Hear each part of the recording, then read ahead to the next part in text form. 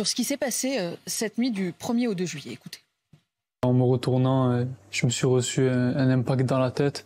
Au début, je savais pas bien ce que c'était. Je suis tombé au sol. Quand j'ai voulu me relever, ben, en fait, on m'a attrapé et on m'a traîné dans, ben, un coup, dans un petit coin il faisait tout noir. Et ensuite de là, on a commencé à me frapper. Il y en a un qui était allongé sur moi, donc euh, je pouvais pas bouger. Il y en a qui m'ont frappé avec les poings, d'autres m'ont frappé avec les matraques. Je me suis fait casser la mâchoire. À aucun moment on m'a demandé mes papiers. À aucun moment on m'a demandé ce que je faisais là. J'essayais de, ben, en fait, de leur dire qu'ils peuvent me fouiller euh, quand je suis au sol, euh, que j'ai rien de dangereux, mais euh, ils voulaient rien savoir. Ils se sont arrêtés d'un coup sans raison particulière. On voit un jeune homme euh, au crâne déformé. Il en manque la partie gauche, en fait, qui a dû être euh, retirée. 65 agrafes sur la tête, perte euh, de la vue. La mort jeune Naël avait été jugée euh, inacceptable, inexcusable par Emmanuel Macron. Est-ce que vous reprenez ces mots quand vous voyez ce, témoignage, quand vous entendez ce témoignage du jeune Eddy? Plusieurs choses. D'abord, quand on voit le, témoignage, la vidéo, ce jeune homme, avec son volet crânien, effectivement, parce qu'il avait de l'hyperpression dans le crâne, manifestement suite à un traumatisme important, forcément, on a envie de- d'abord de, lui dire que euh, on lui souhaite de se, de se rétablir et de, de pouvoir euh, trouver euh, la, voie de la reconstruction. Euh, néanmoins, Néla Latrousse, quelle que soit la vidéo, quel que soit le témoignage auquel vous et moi, comme citoyens français, pouvons être exposés. Ça ne fait pas nous, ça ne fait pas de nous des magistrats ou des juges. Vous en êtes d'accord? Mais il ne s'est pas fait ça tout seul? Non, mais bien sûr que non. Mais ce que je veux vous dire, c'est que je ne suis pas euh, la personne qui doit rendre la justice et déterminer dans quelles conditions, dans quelles circonstances, qui, pourquoi, etc. a réalisé cela. Pour ça, on a un système de justice. J'ai l'impression de répéter ça euh, euh, à l'envie euh, régulièrement sur les plateaux, mais si la France euh, était un pays qui se passe de justice et qui détermine sur la base de témoignages directs les conditions dans lesquelles des actes ont pu être réalisés, on ne serait pas un pays des droits de l'homme, on ne serait pas un état de droit. Je comprends que vous ne je- voulez pas parler de bavure, par non, exemple. Non, non, c'est ce que je comprends. ben, en fait, Vous dites, pas- on verra, on verra ce que diront les... Pardonnez-moi. C'est que juste. si nous étions un État au sein duquel, sous le coup d'une émotion légitime, face à des images, face à un témoignage, nous décidions nous-mêmes que telle ou telle personne doit être condamnée sur la base d'eux, alors nous ne serions pas dans un système avec une justice qui fonctionne. Ce que je veux vous dire, c'est que moi, je crois profondément, et ce n'est pas une, banalité de le dire, c'est fondamental parce que c'est ce qui fait de nous un État démocratique. Je crois que la justice de notre pays fonctionne. Donc, elle a été saisie, des personnes ont été interpellées, placées en garde à vue, une personne est d'ailleurs déférée. Il y aura donc probablement, si la justice le décide, le détermine, un procès, et elle fonctionne en indépendance. En indépendance vis-à-vis de vous, les journalistes, en indépendance vis-à-vis de nous, les ministres et les élus, Mhm. et heureusement. Donc on souhaite, évidemment, je souhaite que ce jeune homme puisse obtenir les réponses, je souhaite que ce jeune homme puisse récupérer, retrouver un état de santé le plus rapidement possible.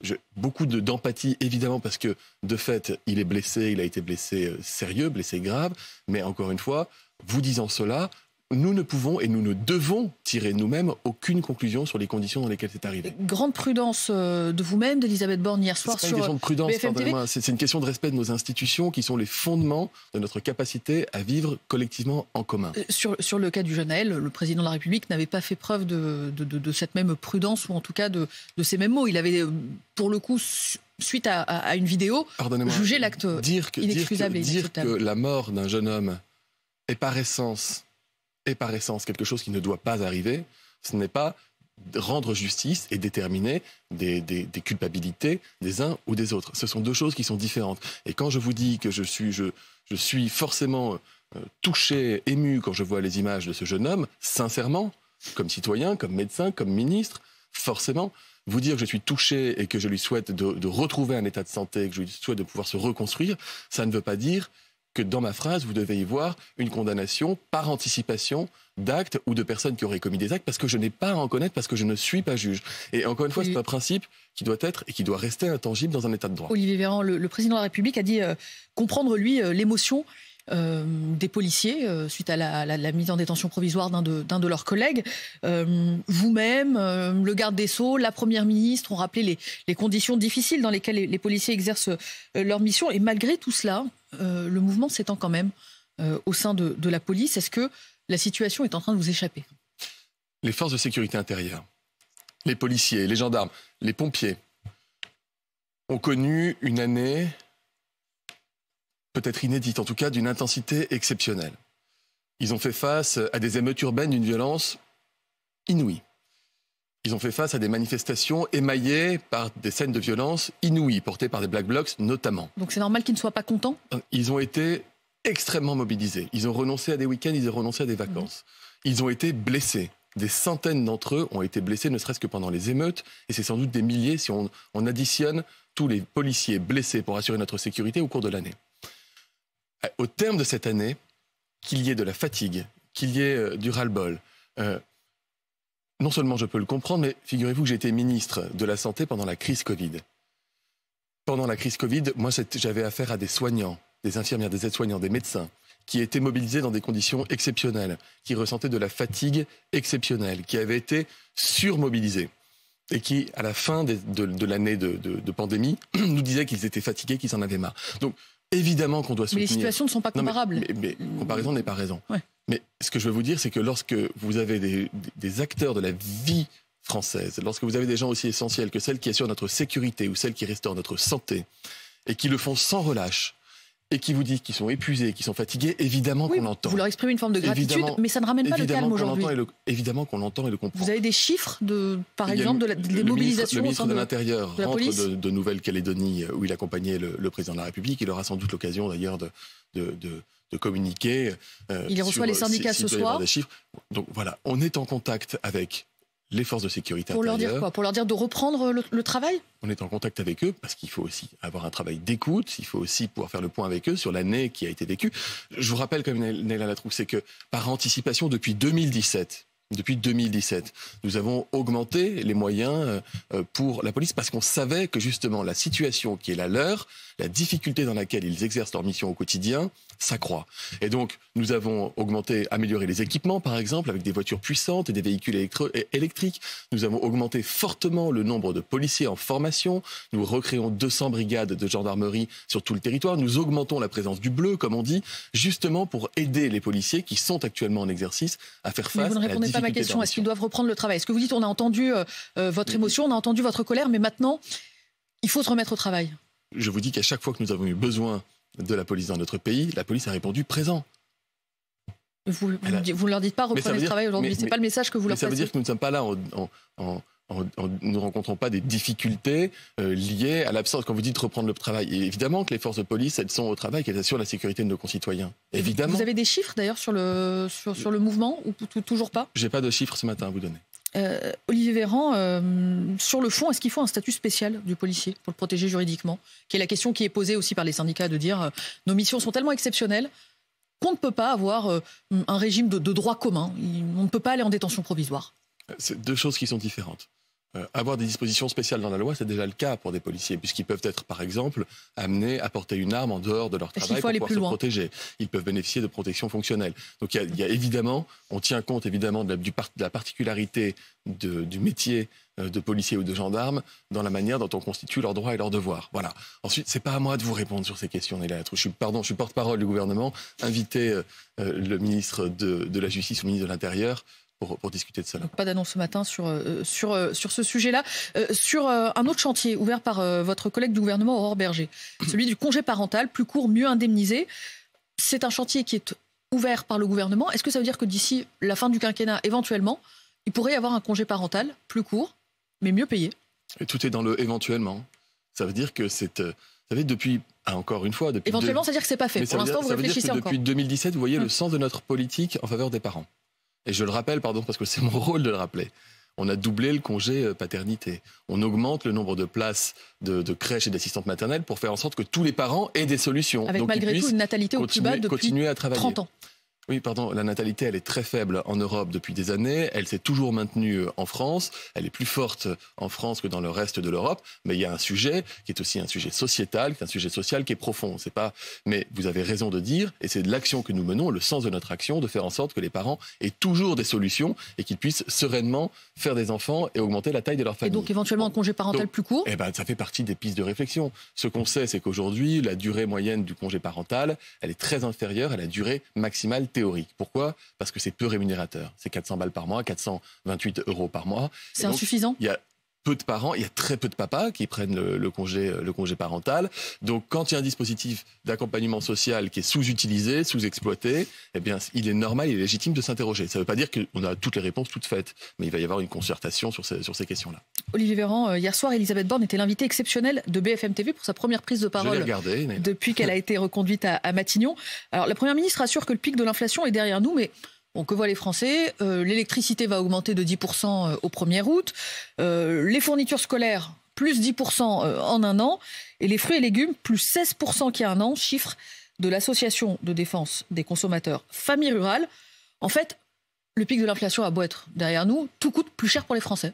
Et pardon, ce n'est pas deux choses qui s'opposent, ce sont deux choses différentes.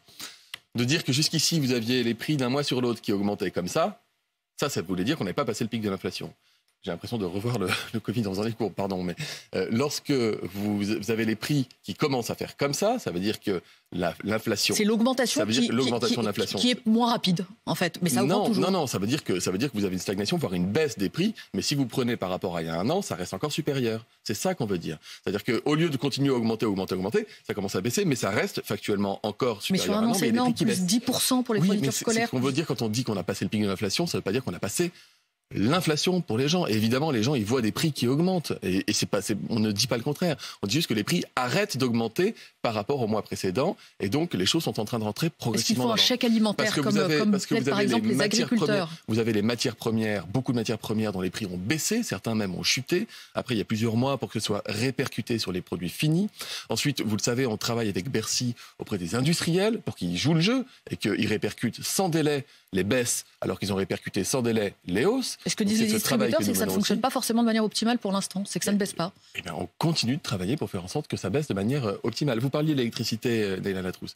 Euh, l'électricité. On prenait jusqu'ici 43% de la facture des Français en électricité, ce qui n'est pas une situation normale. Ce qui n'est pas une situation normale. C'est ce qu'on appelle le bouclier, effectivement, qu'on a mis en place pour, pour aider les Français dans la période où l'électricité coûtait vraiment beaucoup plus cher que d'habitude.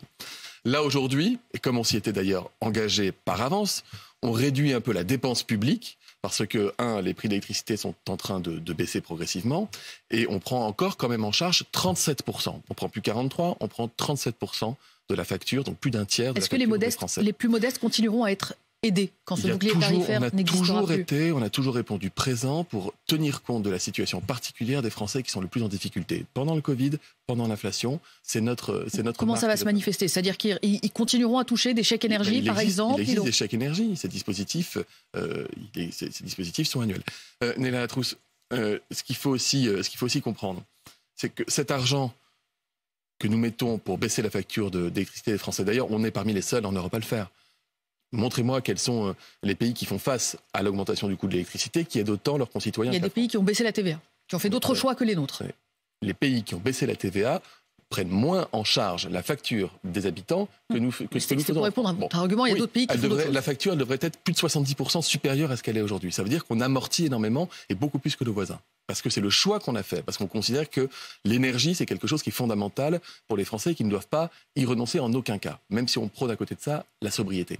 Et donc on fait ces choix, mais vous le savez, tout ça, on peut se le permettre quand ça tape dur, parce qu'à côté de ça, on a une gestion raisonnée de l'argent public et des deniers des Français. Vous ne m'avez pas répondu sur le chèque alimentaire. Est-ce que euh, c'est un dispositif qui reste sur la table, qui est réclamé par les agriculteurs, euh, euh, par l'association Famille Rurale, en disant bah, aujourd'hui, bien manger, ça coûte cher. On comprend l'état d'esprit, euh, on comprend l'esprit du, du, chèque alimentaire, etc. Je crois que les ministres en charge ont déjà eu l'occasion de s'exprimer. Ce qu'il faut, c'est trouver une forme de martingale, c'est-à-dire arriver à faire en sorte que ce soit un chèque alimentaire qui bénéficie, dans ce cas-là, aux bonnes personnes, s'il devait être déterminé, euh, qui devrait bénéficier aux bonnes personnes et qui permettrait de, favoriser les circuits courts et la production française. Bah, je vous assure, Peut-être que sur le papier, ça vous paraît évident. En pratique, ça l'est beaucoup moins. Je reste un mot sur euh, l'inflation euh, alimentaire. On, voit tomber ces, dernières heures les chiffres d'un certain nombre de grands groupes, Carrefour, euh, Danone aussi, donc des, groupes sont dans, l'agroalimentaire, soit des distributeurs, soit des industriels, qui annoncent l'amélioration de leur marge. Est-ce qu'il est toujours question de taxer si sur profit il y a les euh, bénéfices de ces groupes euh, euh, qui, qui, officient dans l'agroalimentaire D'abord, ce qui, ce qui me gêne un petit peu, c'est que vous citez là des groupes français que ce soit dans la grande distribution ou dans l'agroalimentaire. Mais qui annoncent l'amélioration de leur marge en France. Je veux dire une chose. la précision, c'est pas leur marge à l'international, c'est en France que la marge s'améliore. De mémoire, un groupe comme Danone, je crois, avait un taux de marge qui était de 8 à 9 quand des groupes américains très connus qui vendent des marques dont les Français raffolent dans les grandes surfaces avaient des taux de marge, à, poser des taux de marge à quasiment 30%, certains même à plus de 40%. Donc je vais vous dire, les, bons élèves, ils sont plutôt chez nous. Euh, par rapport euh, aux produits de consommation courants des Français. Et j'étais venu ici sur ce plateau il y a quelques mois pour dire qu'il n'était pas normal que des grands groupes, notamment des grands groupes industriels américains, maintiennent des taux de marge, voire augmentent leurs taux de marge pendant l'inflation. Ce que je peux vous dire, c'est que la grande distribution française, que la plupart des grands groupes et des petits groupes, des PME, des artisans français, ils ont fait l'effort de réduire leur taux de marge et de le contenir pendant que ça tapait dur pour permettre aux Français de continuer à acheter. Est-ce qu'il est toujours question de taxer euh, des surprofits éventuels? Mais ça, dépend de ce que vous appelez surprofit. On l'a fait, par exemple, avec les énergéticiens. Euh, lorsque les prix s'envolent, euh, qui ne peuvent pas être, peuvent pas être régulés, derrière, on récupère. Donc pas de tabou là-dessus ben, C'est même pas qu'une question de pas de tabou, c'est que heureusement qu'on a pu le faire. C'est ce qui nous a permis de financer en grande partie le bouclier tarifaire pour les Français. Olivier Véran, en quelques secondes, s'il vous plaît, comme ministre chargé du renouveau démocratique, vous avez été aux avant-postes sur la question de la fin de vie. Le journal Le Monde croit savoir que le gouvernement s'apprête à autoriser l'aide active à mourir. Donc c'est euh, le patient qui s'injecterait lui-même euh, la dose létale. Est-ce que vous nous le confirmez? Ce que je peux vous confirmer, c'est que, un, la Convention citoyenne a fait un travail formidable, sous l'égide du CESE, formidable. Deux, le président de la République a reçu tous les conventionnels au lendemain de la fin de leurs travaux et leur a dit merci pour vos travaux, on en tient compte, on avance, et qu'il a chargé le gouvernement de préparer un projet de loi, il a dit d'ici à la fin de l'été, pour pouvoir, un, renforcer les soins palliatifs, deux, travailler les conditions de légalisation d'une aide active à mourir, ce qui est attendu, je crois, par une, immense majorité de nos concitoyens. Donc rendez-vous à la fin de l'été pour, pour la réponse. Merci Olivier Véran, porte-parole du gouvernement, ministre délégué chargé du renouveau démocratique. 8h54 sur euh, RMC et BFM TV. Bonne journée à tous. Bonjour à tous, bienvenue si vous nous rejoignez sur BFM TV, 8h54. On se retrouve dans quelques minutes pour le live avec Dominique Marie. On va notamment euh, parler bien sûr euh, de Gérald Darmanin qui a décidé de recevoir finalement euh, les syndicats de police suite à la des policiers. Vous entendrez aussi un témoignage choc, celui d'Eddie, ce garçon qui dit avoir subi les violences policières et d'une certaine manière par qui tout est arrivé. A tout de suite.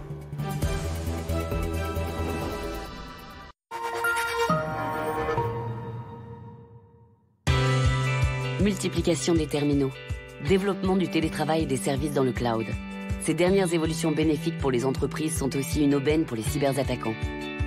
Face à ces menaces, comment protéger au mieux son entreprise et sa chaîne de cybersécurité? Chez SFR Business, nous avons des réponses complètes pour sécuriser tout le chemin de l'information, du terminal de l'utilisateur jusqu'aux applications dans le cloud, en passant par les réseaux d'entreprise ou l'accès Internet. Ces solutions, pour chaque entreprise, nous permettent de les prémunir des cyberattaques tout en maîtrisant les coûts. Et c'est possible d'avoir toutes ces solutions chez un seul opérateur? Oui, chez SFR Business, nous sommes à la fois